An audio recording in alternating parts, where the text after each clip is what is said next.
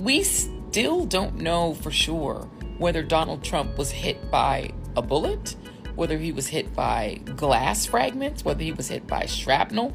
We don't have those details. What the hell are you talking about? Joy Reid is an unhinged lunatic on any normal day.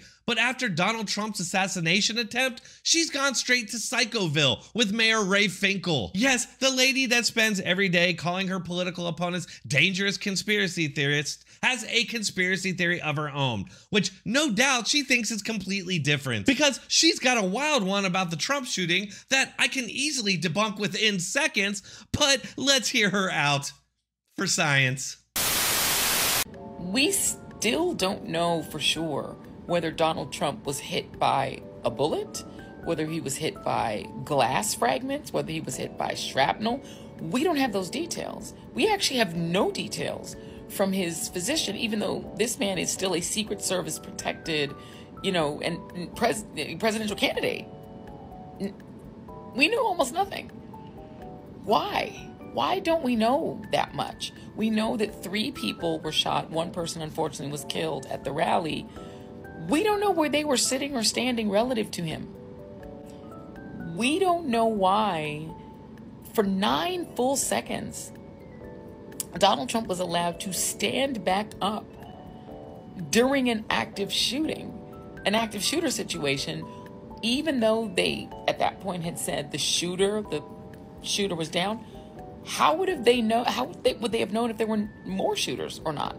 Nobody knew that there could have been five shooters for all they knew. Yet they allowed him to stand up in the middle of that, you know, crisis and pose for a photo and fist pump the air so he could get the iconic photo. And then they allowed him to stand up again outside of the SUV instead of just shoving him into the SUV. That seems really unusual. What is the actual injury to Donald Trump's ear that's under that bandage? Shouldn't we know that by now? It's weird.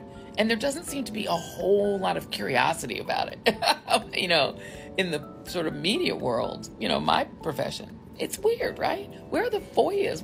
Why isn't the New York Times like aggressively pursuing his medical records?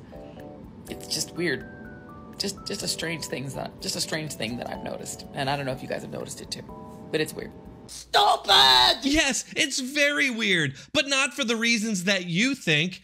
You asked one good question there. Why did the Secret Service leave him on the stage for so long? But a better question would be why was he on the stage at all? The FBI, Secret Service, and local police knew about the shooter for up to 40 minutes before Trump was shot. So, why was he on the stage at all? I'm gonna get to all that, but first, let me quickly address this retarded conspiracy theory. First of all, remember Alex Jones and how he had his entire life destroyed and all of his money from now until the time he dies spoken for by the parents of Sandy Hook for suggesting it was all a hoax. It seems that standard should apply here to Joy Reid and MSNBC, but we all know it won't. Fuck you. You know how easy it is to debunk Joy Reid's stupid conspiracy? Easy. Here's a widely distributed photo of immediately after the shooting. Notice anything? Yeah, those are teleprompters. Undamaged teleprompters. In fact, every photo of this stage shows the teleprompters that were clearly not shot and could not have caused Trump's injuries.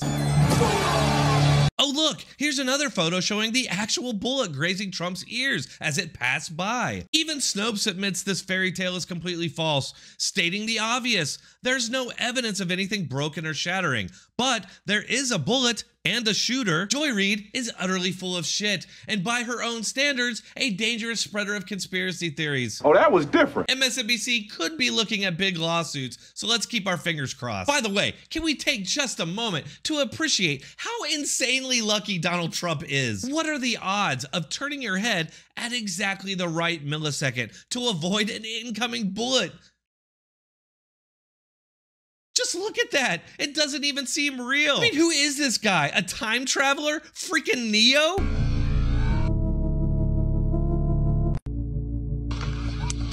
You see something that said, take a look what happened.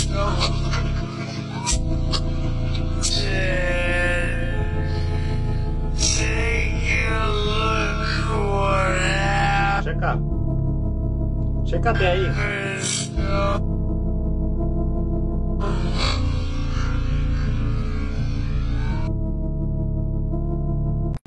The entire event is surreal. We know now for a fact that the local police, the Secret Service, and the FBI knew about this guy for up to 40 minutes before the first shot was fired. At 5:10 p.m., Crooks was first identified as a person of interest.